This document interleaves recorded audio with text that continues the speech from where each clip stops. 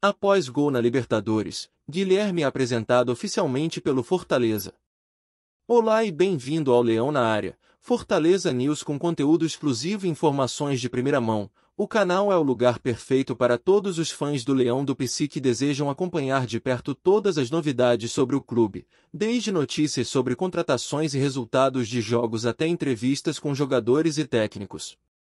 Guilherme, o atacante de 27 anos que já disputou quatro partidas pelo Fortaleza e marcou um gol, foi oficialmente apresentado pelo clube à imprensa nesta sexta-feira. Na noite anterior, ele havia marcado um gol na vitória por 4 a 0 sobre o Maldonado, pela segunda fase da pré-Libertadores, e disse que foi um dos momentos mais especiais de sua carreira.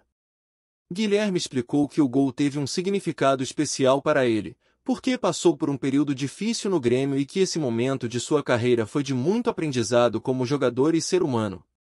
Ele também disse que a emoção foi tanta que não conseguiu comemorar no momento, apenas se ajoelhou e agradeceu a Deus.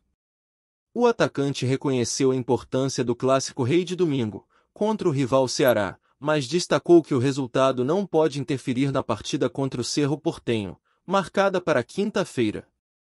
Ele disse que, como profissionais, eles precisam separar as competições e focar em cada uma delas separadamente.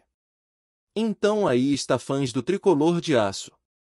Não perca mais tempo procurando informações dispersas em diferentes sites e canais.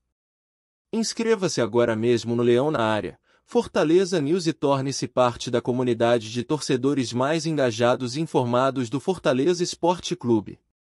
Juntos, Vamos apoiar e torcer pelo nosso time em todos os momentos.